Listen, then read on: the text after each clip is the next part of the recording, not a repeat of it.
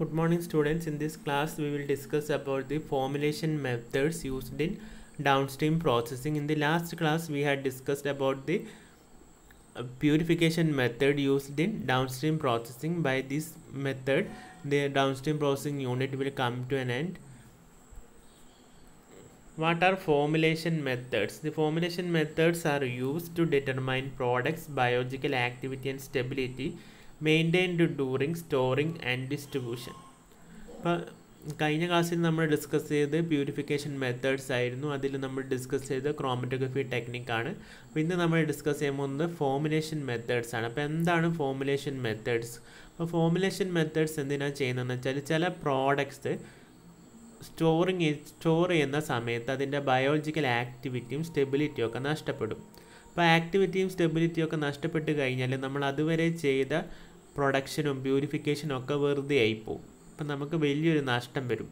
അപ്പോൾ അത് പ്രിവെന്റ് ചെയ്യാൻ വേണ്ടിയിട്ട് നമ്മൾ ഈ പ്രോഡക്റ്റിന്റെ ബയോളജിക്കൽ ആക്ടിവിറ്റിയും സ്റ്റെബിലിറ്റിയും ഒക്കെ മെയിന്റെയിൻ ചെയ്യാൻ വേണ്ടിയിട്ട് നമ്മൾ ചെയ്യുന്ന സ്റ്റെപ്സ് ആണ് ഫോമുലേഷൻ മെത്തേഡ് എന്ന് പറയുന്നത്. അതായത് നമ്മൾ ആന്റിബയോട്ടിക്സ് ഒക്കെ കുറേ കാലം സ്റ്റോർ ചെയ്ത് കഴിഞ്ഞാൽ അതിന്റെ ആക്ടിവിറ്റി നഷ്ടപ്പെടും പിന്നെ അതിന്റെ സ്റ്റെബിലിറ്റി നഷ്ടപ്പെടും. അപ്പോൾ അത് അതൊക്കെ പ്രിവെന്റ് ചെയ്യാൻ വേണ്ടിയിട്ട് നമ്മൾ ചില ടെക്നിക്സ് ഉപയോഗിക്കുക ആ ടെക്നിക്സ് ആണ് ഫോമുലേഷൻ മെത്തേഡ്സിൽ നമ്മൾ പറയുന്നത്. അപ്പോൾ ഫോമുലേഷൻ മെത്തേഡ്സിൽ ഇൻവോൾവ് ചെയ്യുന്ന സ്റ്റെപ്സ് എന്ന് വെച്ചാൽ ഫസ്റ്റ് ഡ്രൈയിങ് ആണ്. അതായത് വാട്ടർ ആക്ടിവിറ്റി കുറയ്ക്കുക.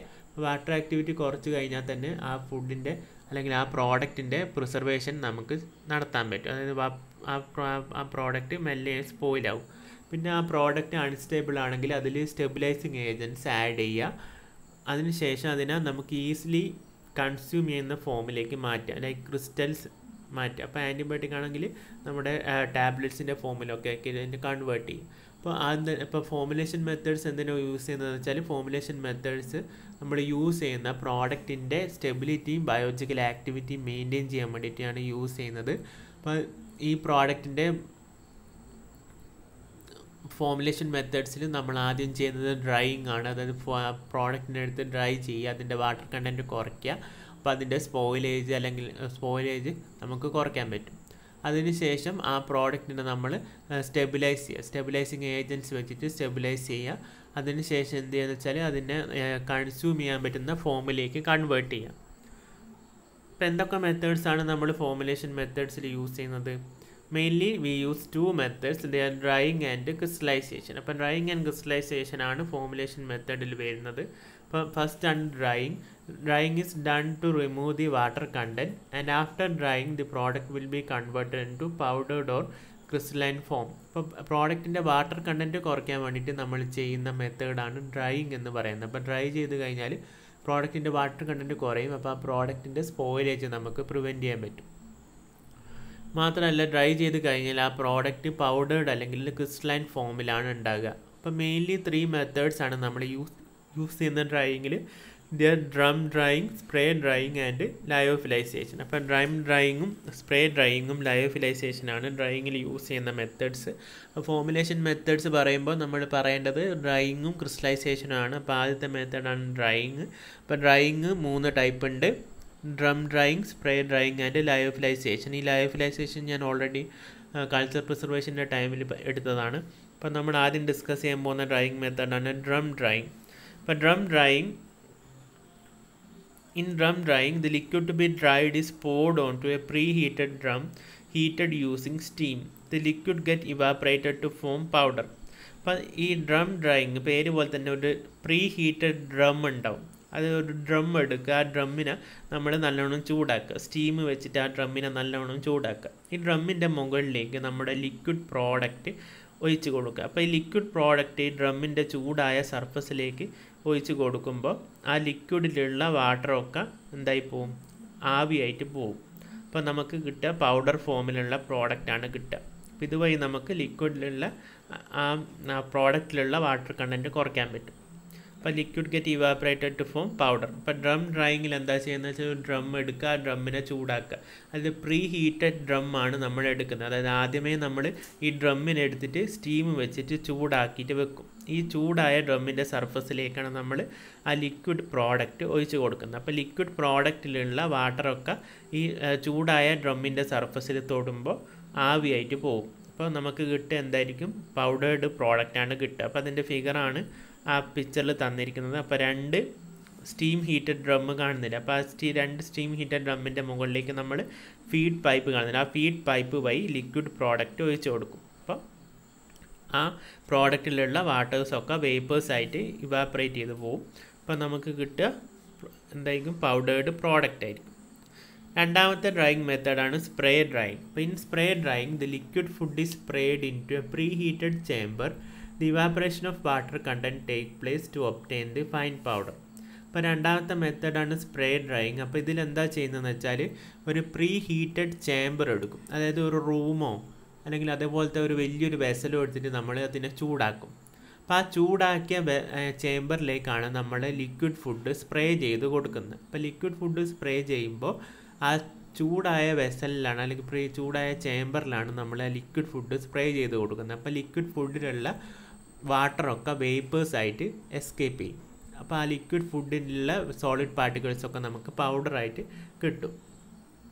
അപ്പോൾ ഇതൊക്കെ യൂസ് ചെയ്തിട്ടാണ് നമ്മുടെ മിൽക്ക് പൗഡറൊക്കെ അല്ലെങ്കിൽ പാൽപ്പൊടിയൊക്കെ പ്രൊഡ്യൂസ് ചെയ്യുന്നത് അപ്പോൾ സ്പ്രേ ഡ്രൈയിങ്ങിന് എന്താ ചെയ്യുന്നതെന്ന് വെച്ചാൽ നമ്മുടെ ഒരു ചേമ്പർ എടുക്കും. ആ ചേമ്പർ നമ്മൾ പ്രീ ഹീറ്റ് ചെയ്യും. ആ പ്രീ ഹീറ്റ് ചെയ്ത ചേമ്പറിലേക്ക് നമ്മുടെ ലിക്വിഡ് ഫുഡ് സ്പ്രേ ചെയ്ത് കൊടുക്കും. അപ്പോൾ ലിക്വിഡ് ഫുഡിലുള്ള വാട്ടർ കണ്ടന്റൊക്കെ വേപ്പേഴ്സായിട്ട് എസ്കേപ്പ് ചെയ്യും. അപ്പോൾ ആ ഫുഡിലുള്ള സോളിഡ് പാർട്ടിക്കിൾസൊക്കെ പൗഡേഴ്സായിട്ട് നമുക്ക് കളക്ട് ചെയ്യാൻ പറ്റും. ഇതാണ് അതിന്റെ ഫിഗർ അപ്പോൾ ഫുഡ് ഫീഡ് ഫ്ലോ കാണുന്നില്ല. അപ്പോൾ ആ ലിക്വിഡ് പ്രോഡക്റ്റ് നമ്മൾ ആ ഫീഡ് ഫ്ലോയിലൂടെ ആ പ്രീ പ്രീ ഹീറ്റഡ് ചേമ്പറിലേക്ക് കൊടുക്കുന്നു. അപ്പോൾ ഒരു ഹീറ്റർ വെച്ചിട്ടാണ് നമ്മൾ ആ ചേമ്പർ ഹീറ്റ് ചെയ്യുന്നത്. അപ്പോൾ ഹീറ്റർ വെച്ചിട്ട് നമ്മൾ ഓൾറെഡി ആ ചേമ്പർ ഹീറ്റ് ചെയ്ത് വെച്ചിട്ടുണ്ടാവും. അപ്പോൾ അതിലേക്കാണ് നമ്മൾ ലിക്വിഡായിട്ട് ലിക്വിഡ് പ്രോഡക്റ്റ് സ്പ്രേ ചെയ്ത് കൊടുക്കുന്നത്. അപ്പോൾ സ്പ്രേ ചെയ്യുമ്പോൾ അതിലെ വാട്ടർ കണ്ടന്റ് ഇവാപ്പറേറ്റ് ആവും. നമുക്ക് പ്രോഡക്റ്റ് പൗഡർ ഫോമിൽ കിട്ടും. അപ്പോൾ പൗഡേർഡ് പ്രോഡക്റ്റ് നമുക്ക് എടുക്കാവുന്നതാണ്. അടുത്ത മെത്തേഡാണ് ഫ്രീസ് ഡ്രൈയിങ് ഓർ ലൈഫലൈസേഷൻ. ഇത് ഓൾറെഡി നിങ്ങൾ പഠിച്ചതാണ്. അപ്പം ഇത് എന്താണ് നിങ്ങൾക്ക് അറിയാം. അപ്പോൾ ഇതിൽ എന്താ ചെയ്യുന്നതെന്ന് വെച്ചാൽ ഫസ്റ്റ് പേരുള്ള പോലെ തന്നെ ഫ്രീസ് ഡ്രൈയിങ് ആണ്. അപ്പോൾ ആദ്യം നമ്മൾ പ്രോഡക്റ്റിനെ ഫ്രീസ് ചെയ്യും. അതിന് ശേഷം അതിനെ വാക്യൂമിൽ ഡ്രൈ ചെയ്യുകയാണ് ചെയ്യുന്നത്. ഇത് ഞാൻ ഓൾറെഡി കൾച്ചർ പ്രിസർവേഷനിൽ എടുത്തതാണ്. ഫ്രീസ് ഡ്രൈയിങ് അല്ലെങ്കിൽ ലൈഫലൈസേഷനിൽ എന്താ ചെയ്യുന്നത് വെച്ചാൽ ഫസ്റ്റ് പ്രോഡക്റ്റിനെ ഫ്രീസ് ചെയ്യും. എന്നിട്ട് അതിനെ വാക്യൂമിൽ വെച്ച് ഡ്രൈ ചെയ്യുകയാണ് ചെയ്യുന്നത്. അപ്പോൾ ഫോമിനേഷൻ ടെക്നിക്സിൽ ആദ്യം നമ്മൾ പഠിച്ചത് ഡ്രൈയിങ് ആണ്. അപ്പം ഡ്രൈയിങ് ടെക്നിക്സ് മൂന്ന് ടൈപ്പ് ഉണ്ട്. ഒന്ന് ഡ്രം ഡ്രൈയിങ് അതിൽ പ്രീ ഹീറ്റഡ് ഡ്രം ആണ് യൂസ് ചെയ്യുക രണ്ടാമത്തത് സ്പ്രേ ഡ്രൈയിങ് അതായത് പ്രീ ഹീറ്റഡ് ചേമ്പറിലേക്ക് നമ്മൾ ലിക്വിഡ് ഫുഡ് അല്ലെങ്കിൽ ലിക്വിഡ് പ്രോഡക്റ്റ് സ്പ്രേ ചെയ്യും. മൂന്നാമത്തതാണ് ലൈഫിലൈസേഷൻ അല്ലെങ്കിൽ ഫ്രീസ് ഡ്രൈയിങ് ഇനി രണ്ടാമത്തെ ഫോമുലേഷൻ മെത്തേഡാണ് ക്രിസ്റ്റലൈസേഷൻ അപ്പോൾ crystallisation is used for conversion of product into crystalline form by simple evaporation process or by adding salt to obtain precipitate which is dried to obtain crystal. This is the final process in the recovery. ഇപ്പോൾ crystallisation എന്ന് വെച്ചാൽ എന്താണ്? അതായത് പ്രോഡക്റ്റിനെ നമ്മൾ crystal ഫോമിലേക്ക് convert ചെയ്യുക. അതായത് പ്രോഡക്റ്റിനെ crystalline ഫോമിലേക്ക് നമ്മൾ മാറ്റുക. അപ്പോൾ ഇതിന് വേണ്ടിയിട്ട് നമ്മൾ ആഡ് ചെയ്യുക. എന്താണ്? സാൾട്ടാണ് ആഡ് ചെയ്യുക. അപ്പോൾ ചില സാൾട്ട് ലൈക്ക് അമോണിയം സൾഫേറ്റ് ഒക്കെ ആഡ് ചെയ്ത് കഴിഞ്ഞാൽ നമുക്ക് പ്രസിപ്പിറ്റേറ്റ് കിട്ടും. അപ്പോൾ ആദ്യം നമ്മൾ പ്രസ് പ്രോഡക്റ്റിനെ പ്രസിപ്പിറ്റേറ്റ് ചെയ്ത് എടുക്കണം. എന്നിട്ട് അതിനെ ഡ്രൈ ചെയ്തിട്ടാണ് അതിനെ ക്രിസ്റ്റലൈൻ ഫോമിലേക്ക് കൺവേർട്ട് ചെയ്യുന്നത്. അപ്പോൾ ആദ്യം നമ്മൾ പ്രോഡ ഫെർമെന്റേഷൻ ബ്രോത്തിലേക്ക് നമ്മൾ പ്രസിപ്പിറ്റേറ്റിംഗ് ഏജന്റ് ആഡ് ചെയ്ത് കൊടുക്കുക. ലൈക്ക് അമോണിയം സൾഫേറ്റ് അതിന് ശേഷം നമുക്ക് പ്രസിപ്പിറ്റേറ്റ് കിട്ടും. ആ പ്രസിപ്പിറ്റേറ്റ് നമ്മൾ ഡ്രൈ ചെയ്ത് ആണ് നമുക്ക് ക്രിസ്റ്റലൈൻ ഫോമിൽ കിട്ടുന്നത്. അതായത് പ്രസിപ്പിറ്റേറ്റ് എന്ന് വെച്ചാൽ എന്താണ്? അടിയിൽ ഫോം ചെയ്യുന്ന ചണ്ടിയാണ്. പ്രസിപ്പിറ്റേറ്റ് എന്ന് പറയുന്നത്. അപ്പോൾ നമ്മൾ ഫെർമെന്റേഷൻ ബ്രോത്തിലേക്ക് അമോണിയം സൾഫേറ്റ് ആഡ് ചെയ്ത് കഴിഞ്ഞാൽ നമുക്ക് ഒരു പ്രസിപ്പിറ്റേറ്റ് അല്ലെങ്കിൽ അടിയിൽ എന്ത് ആ ബ്രോത്തിന്റെ അടിയിലാണ് എന്ത് കിട്ടുക? നമുക്ക് പ്രോഡക്റ്റ് കിട്ടുക. അല്ലെങ്കിൽ ഒരു പ്രസിപ്പിറ്റേറ്റ് അല്ലെങ്കിൽ ഒരു ചണ്ടി പോലെയാണ് പ്രോഡക്റ്റ് കിട്ടുക. ആ ചണ്ടി എടുത്ത് ഉണക്കി കഴിഞ്ഞാൽ നമുക്ക് എന്ത് കിട്ടും? ആ പ്രോഡക്റ്റ് ക്രിസ്റ്റലൈൻ ഫോമിലാണ് നമുക്ക് കിട്ടുക.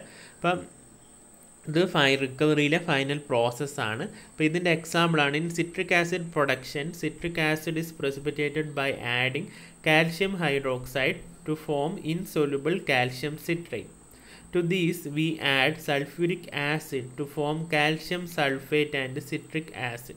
The citric acid is subjected to evaporation to obtain crystalline form of citric acid. The calcium sulfate being insoluble can be removed from the mixture.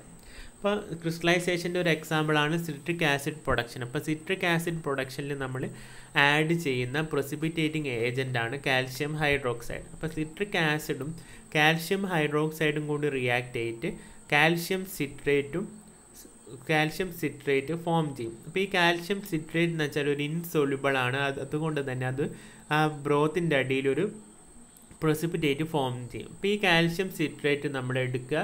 അതിലേക്ക് കുറച്ച് സൾഫ്യൂരിക് ആസിഡ് ആഡ് ചെയ്യുക. അപ്പോൾ സൾഫ്യൂരിക് ആസിഡ് ആഡ് ചെയ്ത് കഴിഞ്ഞാൽ ഈ calcium സിട്രേറ്റും sulphuric ആസിഡും react ചെയ്തിട്ട് കാൽഷ്യം സൾഫേറ്റും സിട്രിക് ആസിഡും ഫോം ചെയ്യും.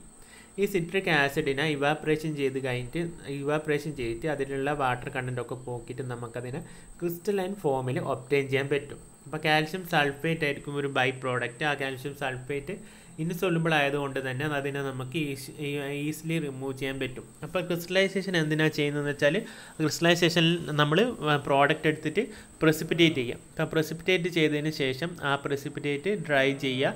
അതിനെ ക്രിസ്റ്റലൈൻ ഫോമിലേക്ക് മാറ്റുക. ഇതിന്റെ എക്സാമ്പിളാണ് citric acid production. Citric acid പ്രൊഡക്ഷനിൽ നമ്മൾ യൂസ് ചെയ്യുന്ന precipitating ഏജന്റാണ് calcium hydroxide. Calcium hydroxide add ചെയ്ത് കഴിഞ്ഞാൽ സിട്രിക് ആസിഡും കാൽഷ്യം ഹൈഡ്രോക്സൈഡും റിമൂ റിയാക്ട് ചെയ്തിട്ട് കാൽഷ്യം സിട്രേറ്റും ഫോം ചെയ്യും. ഈ കാൽഷ്യം സിട്രേറ്റ് ആണ് പ്രസിപ്പിറ്റേറ്റ് ആയിട്ട് ഫോം ചെയ്യുക. ഈ പ്രസിപ്പിറ്റേറ്റ് എടുക്കുക. അതായത് കാൽസ്യം സിട്രേറ്റിന്റെ പ്രസിപ്പിറ്റേറ്റ് എടുത്തിട്ട് അതിലേക്ക് നമ്മൾ സൾഫ്യൂരിക് ആസിഡ് ഒഴിച്ചു കൊടുക്കുക. അപ്പോൾ കാൽസ്യം സിട്രേറ്റും സൾഫ്യൂരിക് ആസിഡും റിയാക്ട് ആയിട്ട് സിട്രിക് ആസിഡും കാൽഷ്യം സൾഫേറ്റും ഫോം ചെയ്യും. ഈ കാൽഷ്യം സൾഫേറ്റ് ഇൻസോലിബിൾ ആയതുകൊണ്ട് തന്നെ നമുക്ക് ഈസിലി റിമൂവ് ചെയ്യാൻ പറ്റും. സിട്രിക് ആസിഡിനെ നമ്മൾ ഇവാപ്പറേറ്റ് ചെയ്തിട്ട് അതിനെ ക്രിസ്റ്റലൈൻ ഫോമിലേക്ക് കൺവേർട്ട് ചെയ്ത് യൂസ് ചെയ്യാം. അപ്പോൾ ഇതോടുകൂടി നമ്മുടെ ക്രിസ്റ്റലൈസേഷൻ പാർട്ട് കഴിഞ്ഞു. അപ്പം proteins are heat sensitive so drying cannot be used in formulation so while formulating the protein certain substances like stabilisers are added to proteins example sugars like sucrose and lactose salt like sodium chloride ammonium sulphate polymers like polyethylene glycol അപ്പം proteins heat sensitive ആണ്. അപ്പം proteinaceous product ആണെങ്കിൽ നമ്മുടെ product proteins ആണെങ്കിൽ നമ്മുടെ product proteins ആണെങ്കിൽ അത് നമുക്ക് ഡ്രൈയിങ് വഴി ഫോമുലേറ്റ് ചെയ്യാൻ പറ്റൂല. കാരണം എന്താണെന്ന് വെച്ചാൽ പ്രോട്ടീൻസ് ഹീറ്റ് സെൻസിറ്റീവ് ആണ് അത് ഡീനേച്ചറായി പോകും അപ്പോൾ അതിന് വേണ്ടിയിട്ട് നമ്മൾ യൂസ് ചെയ്യുന്നതാണ് സ്റ്റെബിലൈസേഴ്സ് ഇപ്പോൾ സ്റ്റെബിലൈസേഴ്സ് നമ്മൾ പ്രോട്ടീനിലേക്ക് ആഡ് ചെയ്യും like sucrose lactose sodium chloride ammonium sulphate etcetera അപ്പോൾ പ്രോട്ടീൻസ് ഹീറ്റ് സെൻസിറ്റീവ് ആയതുകൊണ്ട് അതിനെ നമുക്ക് ഡ്രൈയിങ് വഴി ഫോമുലേറ്റ് ചെയ്യാൻ പറ്റില്ല അപ്പോൾ അതിനേക്ക് നമ്മൾ സ്റ്റെബിലൈസേഴ്സ് ആഡ് ചെയ്തിട്ടാണ് അതിനെ ഫോമുലേറ്റ് ചെയ്യുക അപ്പം നമ്മൾ ഫോമുലേഷൻ മെത്തേഡ്സിൽ പഠിച്ചത് മെയിൻലി ഡ്രൈയിങ് ആണ്. ഡ്രൈയിങ്ങിന്റെ മൂന്ന് ടൈപ്സ് പഠിച്ചു. പിന്നെ നമ്മൾ പഠിച്ചത് ക്രിസ്റ്റലൈസേഷൻ മെത്തേഡാണ് ഇപ്പോൾ ഡ്രൈയിങ്ങും ആണ് ഫോമുലേഷനിൽ വരുന്നത്. ഇതോടുകൂടി നമ്മുടെ downstream processing unit complete ആയി next pro unit fourth unit നമ്മൾ നെക്സ്റ്റ് ക്ലാസ് തൊട്ട് സ്റ്റാർട്ട് ചെയ്യും.